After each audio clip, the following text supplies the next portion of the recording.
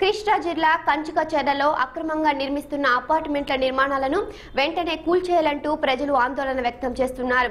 వాతావరణ విపత్తు కారణంగా గత మూడు రోజుల క్రితం ఓ అపార్ట్మెంటు నాలుగు ఐదు అంతస్తుల గోడలు కూలి నివాసాలపై పడడంతో చుట్టుపక్కల నివాసితులు ఆగ్రహం వ్యక్తం చేశారు.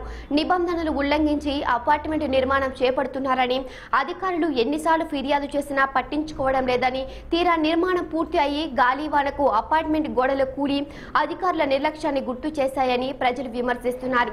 అధికారుల తీరుపై ప్రజలు మండిపడుతున్నారు.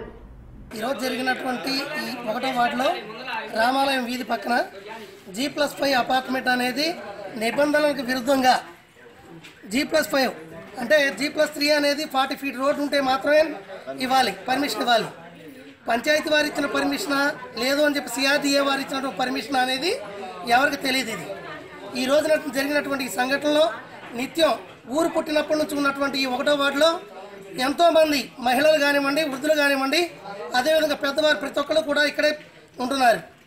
ఈ వార్డులో జరిగినటువంటి ఈ యొక్క జీ ప్లస్ ఫైవ్ అపార్ట్మెంట్ ఈ కన్స్ట్రక్షన్లో ఉన్నప్పుడు దీని కనీసం వాటరింగ్ అనేది లేదు ఏది లేకుండా నిబంధనల విరుద్ధంగా కట్టడం జరిగింది.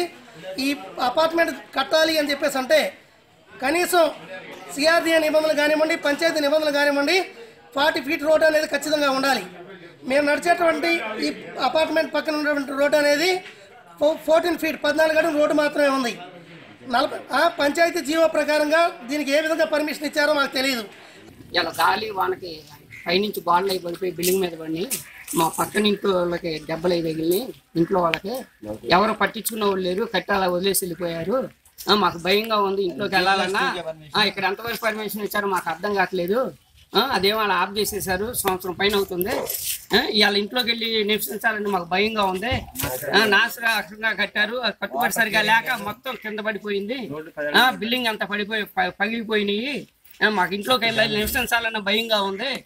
ఇమీడియట్గా మీరు యాక్షన్ తీసుకోవాలని దీని మీద ఫైవ్ స్టైర్ కట్టారు. అది జీ ప్లస్ త్రీనే అంటున్నారండి. దాని జీ ప్లస్ టూ అంటున్నారు. దాని వరకు పర్మిషన్ ఎంత అయిందో మాకు తెలియదు పర్మిషన్ లేక ఉందో లేదో కూడా మాకు ఐడియా లేదు. దాని మీరు చర్య తీసుకోవాల్సిందిగా కోరుతున్నాము.